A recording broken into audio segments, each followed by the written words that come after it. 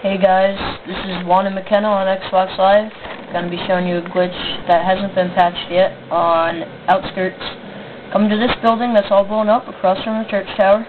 And all you gotta do is, it's really easy, get up on here, and get up on here, and you just crouch and tap A, and you'll go flying up. Uh, keep in mind that the bomb for search and destroy is over there, and you can, um, get really good eyes on the bomb. If you ever have to get down, you just drop onto this fence, and it's like the Call of Duty 4 uh, Kill House red circle glitch that you don't get fall damage from. Um, now I'm just going to show you another part of this glitch, and if we have time, I'm going to try and show you guys another one. Um, you can jump over to this building here, and again, get really good view on that. Now remember, people can kill you from up here, so just be careful. But if the bomb is planted, they're not going to be taking their time to look up.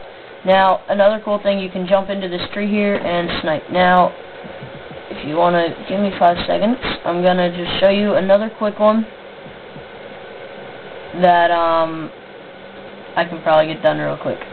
Uh, in Search and Destroy, a lot of times people like to hide in these bushes while they're carrying the bomb. So I, what I like to do is plant a bouncing Betty here, and a bouncing Betty at the edge of this building here so they can't come around and flank you while you're trying to do this.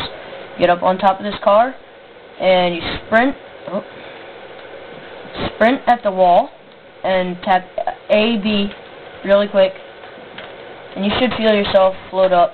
Uh, if you do it right, you'll stop up here. If you do it wrong, you'll start floating over that way, and you'll fall to your death unless you land in that tree right there. Uh, again, my gamer is Juan McKenna, and this has been a glitch video on Outskirts. And my friend Christian0695. Add us if you want.